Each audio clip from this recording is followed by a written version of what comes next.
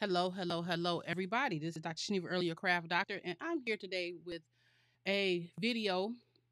Um, this is a project that I am making for a nonprofit um, event, and I'm sure you've seen these all around um, the internet, and they're the candy domes. So this is the candy dome, and it, it has several pieces, and I picked this one so I didn't have to put little pieces like eyeballs and legs and arms and stuff. So I have to cut out red, brown, pink, white, light brown, and black. So I had to cut out each one of those for this project. I'm making 40 of them for the event that I'm having or that I'm a part of. And so I was making them and I made the browns. And so I was doing them first on my Joy Xtra because I was just doing them at my my couch because y'all you know I'm all, um y'all all know I'm recuperating from knee surgery. And it was just like one match. I got 20 done and I'm like, I'm tired of doing these singly by themselves. It's taking too long. So I said, okay, I'm gonna go ahead and grab my Cricut Maker so I could put two on a on a mat. And these are just the black. And so I, I did two on a mat and I'm sitting there and I'm like, you have to be able to do these more efficiently um, than two on a mat.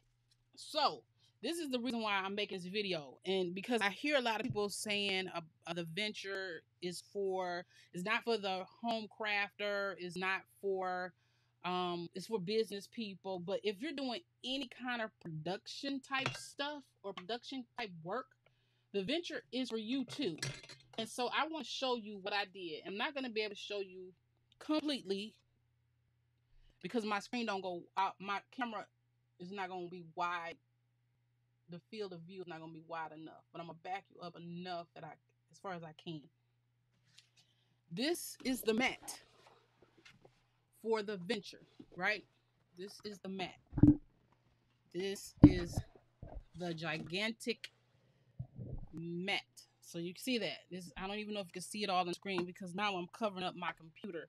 But this is the big gigantic mat, right? So instead of making two, I can now make eight because it's two here, two here, two at the back. That's the same way. So I was able to make eight of these in the span of time that I made two because the maker was making them pretty quickly. But that venture it might be slow compared to the Romeo or the Siser Juliet, but it still got some speed on it when you need to do some quick stuff. The mat though is huge. The mat is huge. So it does have that one thing. Like if you can tell this the mat is taking up my whole desk area. It's taking up my whole desk area. But instead of doing four or two, I was able to do eight. So I knocked out these um eight, these 40 that I had to do in no time. It was literally like it took me longer to clean the mat than it did to cut these. Because of course, my first mat I use a standard grip. This mat I'm using the light grip because this is some Recollections paper, 60 pound, and it's thin. But look at that. Compared to, to making them, I bent this mat so this, I bent it and so it came up quickly. This this one came out easy because this is good paper. That's some good paper. That's not recollections. But the recollections paper, you see, I have to really peel this off. So it also depends on the paper you're using. If you're using thinner paper, mm, it's going to take a little bit harder to get these off. Them two popped out, but I had to. I have to roll this mat, and that's the key. Roll your mat so you'll be able to get your um, piece off easier without tearing it. And so all I did was I took these pieces and I flipped them to get two on them, two on a 12 by 12 sheet and I took the 12 by 12 sheet. Mm-mm, my mic is getting in the way. My 12 by 12 sheet, and I put one here, one here, one there, one there, and there you go. And so, if you have those bigger projects, this thing is expensive. I'm not gonna lie. I got it on um, Cricut. Um, I got it from Cricut. Um, the one thing that I did do, I got a discount. I think did I get the discount? I don't even know if I did, but I got. I'm, I'm a Cricut. I'm a Cricut Access member, so I got that discount. But even if you're not a Cricut Access member and you're a veteran, get your veterans discount because Cricut do have veterans discount every time you order something. It's the same discount as if you were Access member. So you're not going to be missing out because you're not an Access member. But if you are a veteran, grab that veterans discount so then you will be able to get that deal for this um, whatever you buy from Cricut. Sometimes if they're having a sale though, you can't stack the discounts. So you'll you know you'll get one or the other. But whenever you go to Cricut and buy something for Cricut, use those discount codes and get get those deals um from them. And so I don't have a bigger scraper because if I had the bigger scraper, I could scrape this right off with no problem. It'll, you know, that big, big one. And I kept saying to myself, every time I go to Michael, well, I haven't been to Michael's in a long time, but when I went to Michael's the last time, I was like, I don't need that big scraper for nothing. I don't do nothing that big. But you know, that was long before I bought this big venture. I mean, yeah, before I bought the venture. Ouch. this mat is sticking to my sore knee and it's hurting. hurting me. But so all you gotta do, take your mat. Don't let this big mat scare you because people are like, oh, that mat is so huge. Take it in sections, just like I'm doing. You see how I'm taking in sections and getting this stuff off? Take it in sections. I laid this baby down on the floor because my upstairs craft space, I got my venture where my, my workspace is right now because I need to move around stuff. I just dropped that thing on the floor. Y'all know it's hard for me to get this knee.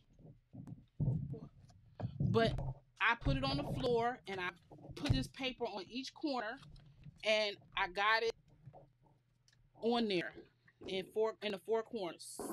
Or you know what you can do? If you're doing big projects that like this, go to the dollar store and buy poster board. Poster board is 12 by 28, which is the size of this mat. Now, if you don't have to do anything this big, get the 12 by 24. It's half this size. And I think when I um I ordered them from a bundle from HSN, if I'm not mistaken. Yeah, I did.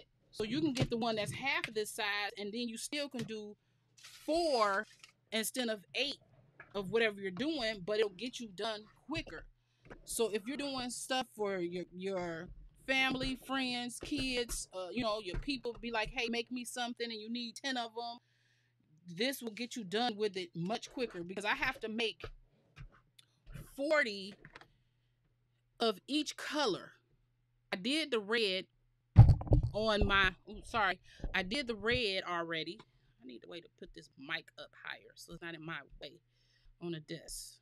I did the 40 in red. I'm done with the brown. I don't have any pink paper, so I have to make a run to Michael's um, and get some pink paper on Monday because I can't do it tomorrow because I have class all day tomorrow. I'm doing a bling uh, education thing, even though I know how to bling already, uh, doing um, but it never hurts to do some education to get you a little bit extra because we're having a special event. It's called Bling Your Bag, and we're going to be blinging tote bags, right? And we're gonna. I created all of these. I didn't create the pattern. I created the template. I cut out the templates. I did create one pattern though. I can't wait to people to see it. But I, I created the. I cut out the templates, and people will get a chance to pick the template that they want to bling on their bag and then we'll have a discussion about um, things you put in your bag. And if you are a blinger and you want to bling out some stuff, we're going to talk about how you can get resources, where you go to get your stuff, how much it costs, you know, that type of stuff. Because unfortunately, we find that a lot of people don't want to tell you where they get their stuff from. And so we're having this event called Bling Your Bag, and it is to, to help for our um, diaper bank, our local diaper bank. To you know, we have the diaper bank to pass our diapers to people in uh, in need of diapers. And so we're going to do that. And we're going to have this event. And we're having a special guest, um, one of our um, wonderful influencers who is in our local area. I haven't gotten the flyers created yet, so I don't want to say who that influencer is, but we're going to have her, and she's coming to our event so we can talk to people and let people know uh, about how to do rhinestones, um, blings, and stuff like that. And we're going to give out the resources on how to connect with them. We're not going to be like, oh no, I'm not. I'm not going to tell you where I got my supplies from because that's the thing. People need to know if push comes to shove and you need a quick, uh, whatever, however it is, you need some quick money fast in a hurry, and you have a Cricut, a Romeo, or whatever you have, and you need to make some money right quick, and the school needs some T-shirts or tote bags or hats or whatever this will be the opportunity where you can get the deposit, buy the supplies, and be able to do something quick for them. And I often get, well, aren't you scared they're going to take your customers? For real, for real, there is millions of people in the United States, overseas, wherever, in alive. If if somebody's going to take your customer, they was not your customer at all. They they were not the person that you are seeking. If somebody be like, "Oh my God, I love your product, but it's too expensive," they're not your customer because they're not going to buy it. Thus, make it not your customer. If it's somebody who says, "Oh my God, your stuff is so cute," and then they start copying you, then that person was never your customer at all. They were somebody who was looking for a way to edge in on what you're doing, but that is not going to stop you from being able to get your customer base up. So please don't be afraid. If that was true, it would not be a McDonald's on every corner. If that was true, you would not see um, Sam's Club, Costco, B&H, whatever. There's always room for more people to be in this game. So don't be afraid of it. And, you know, talk to people who know how to do these things and that's willing to help you. There's going to be somebody who is going to be, no, I don't want them to know about where I get my stuff. But there's going to be people like me who is willing to talk to you and tell you about how to get this done. Now, this is a local event. I'm not sure yet how I could even tape it so that we can show unless I just tape how to create a template which I can I can tape the um I take I could take like a step by step so if you want a step by step I can do that and I can tell you in the video where did I get my stuff from? Who did I buy it from? We got so many people who, who you can buy your things from. And I would prefer to tell you where to get it from than you go and try to figure out all these places and never find what you're looking for. So if you like this idea, this came from, I want to say it came from Creative Fabrica. I'm not really sure. I, I just know I looked online and I seen this cute bear and I bought it. It might have even been from an Etsy seller or something, but this they have plenty of them. Go online and look for this bear. But they have them they have them on Cricut, which they have I don't know where you I'm not gonna lie, I don't know where I got this design from, but they got them everywhere, all kinds. Just go on and look at candy domes. These domes are that are the domes from half an ornament, a half ornament. So I bought 40 of them from Amazon for like seven dollars or five dollars or I don't really know. You may be able to find them um somewhere. Matter of fact, let me can I let me go here. I'm I'm getting ready to see how much they cost on Amazon. Let me let me see because that's the key. Amazon. You need to know where to get these things from. Um, orders.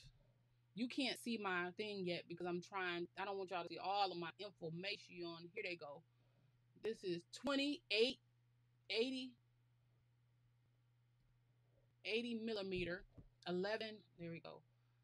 Okay, so I'm going to bring you on my screen. You'll be able to see my screen now. There. So they are um y'all can't only see half of this. But they're they're these Christmas balls. That's what they are. They're these balls. And they're ornaments DIY. Maybe let me see if I can make my screen smaller. There we go. Make my screen smaller so y'all be able to see it. So they I got them for $11.99 and I got 20 of them. You may be able to find them cheaper. I know during the holidays they're probably cheaper, and so I got them for eleven ninety nine. And you may be able to even find them um, cheaper than this. I was I just needed them right away so I could show somebody the sample. And this is what I got. So see this one Valentine's Day clear ornaments, but I'm not sure how big that is. Let's look and see. 20 pack Valentine's Day clear ornament transparent 688 so there we go we found them for 688 for 20 and so that is enough to do 40 because it's a 20 pack because the ornament is one side see is is here let me i have to move my screen uh-oh what did i just do i have to move the screen so y'all can see it Lord. How come y'all can't see it? There we go. That's what it looked like. So you get 20 pieces. You get 20 pieces, which is one ball. So you can do 40 every time. And that is $6.99. That's how you much you could pay for them for 20 piece. So, okay, let me take this off. Bring y'all back here. Right. Okay. So I, I would say if you wanted to do a project like this for, well, Valentine's Day is in two weeks ish, or um, I'm gonna do one that looks like a shamrock because our school is shamrocks, and I'm gonna pass them out to um, administration if I have time enough to do it because our thing is shamrock. But all you really have to do if you want to do something like this, what is this? All you have to do is get a something, whatever it is. Like this, you can't It's black. There we go. It's black. So it's a bear face, right? This is, y'all know, I don't care. I like to share. Almost eight inches long by six, right? All you have to do is get a circle and cut it out. Let's see how wide this circle is. It is looks like it's three and a quarter. So get go into Cricut, find you anything, whatever you like to to make at least have two layers. You got to have more than one layer because the first layer is this. Because you got to have this piece. But you can find so many things and piece it together and make it work. Whatever design you want, cut that circle out. Bring in a document that has this part or make your own and hot glue it. I hot glued it. So what I'm going to do, this video is just talking about them. Once I get all the pieces made, cut out this week, I'm going to do a video putting this together so you can see it. I just wanted to see y'all to see what I was doing and how to use the Venture cutting mats and how a regular crafter who does mass production for things can use the Venture. That was my purpose of this video. So I will be doing more videos. I actually had another video to upload, but it was wonky, so I deleted it. But it's is some of the templates that I'm doing for um rhinestones. So I just wanted to come in and say hello. Thank y'all for rocking with me in this this uh lull on me in, but I'm going to be back. I'm not probably going to make but one video a week right now until I get back on my um grind and and feel better. But so then after that, I'll probably be making more videos um, a week like I used to. But it's just really good to come on and show you something to do something that you can do quickly. If you only need five of them, you could put two on a page per color, buy your things, and then you got them. And there you go. Six and eight, eight, which is the major part. And we all got so much paper, it's ridiculous. And so use your papers, make them in color, you know, instead of making a plain heart, use some glitter and make this all glittery and stuff like that. And it'll be beautiful because you did it. All right. Thank you so much for joining me. And I will see y'all all in the next one.